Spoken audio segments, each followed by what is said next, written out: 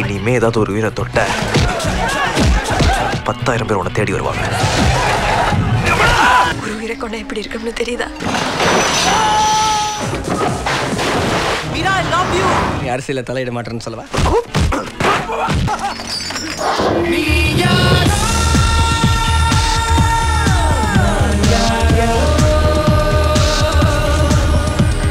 வரும் செவ்வாய் இரவு ஒன்பது முப்பது மணிக்கு சூர்யா மாதவன் த்ரிஷா சித்தார்த் நடித்த ஆயுத எழுத்து. முரசு முழுமையான பொழுதுபோக்கு.